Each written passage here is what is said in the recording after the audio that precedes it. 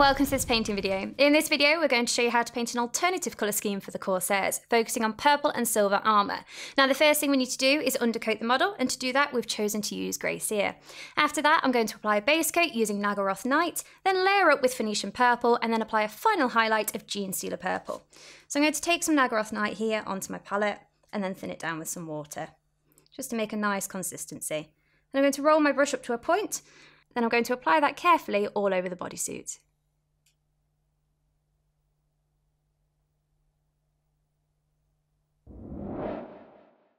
With the base coat applied, I'm now going to use Phoenician Purple to bring up those raised areas.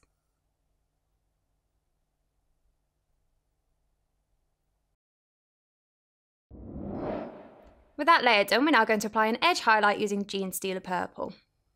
In some places you can just use the edge of the brush, in others you can use the tip.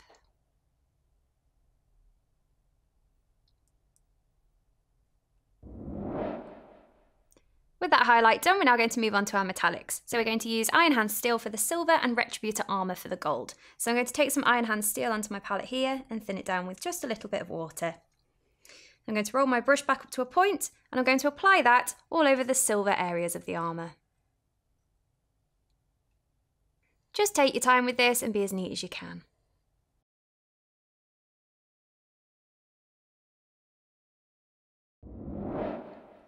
With the silver done, we're now going to pick out the gold trim.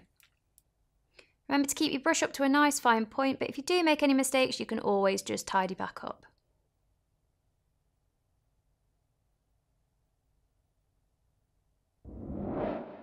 With the gold done, we're now going to move on to our next stages. So we're going to use a Akhelian Green, thinned down with contrast medium, and that will go all over the silver and also the gold. Then we'll apply a spot highlight using Stormhost Silver.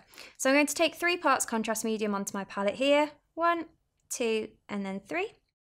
Rinse off my brush, and then I'm going to make sure to dry that off.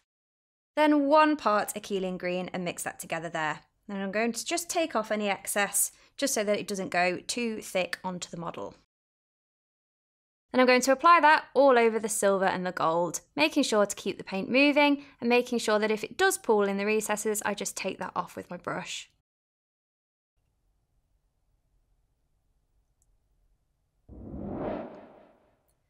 With that contrast done, we're now going to apply an edge highlight using Stormhost Silver. We're also going to apply this as a spot highlight on the gold.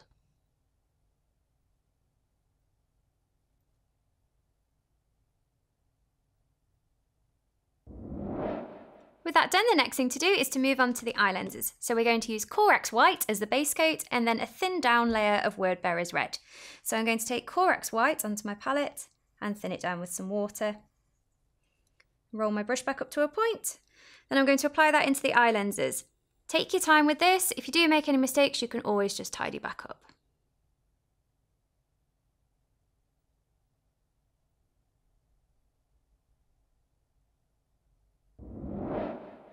Next, we're using a thin down coat of Wordbearer's Red and applying that onto the eye lenses.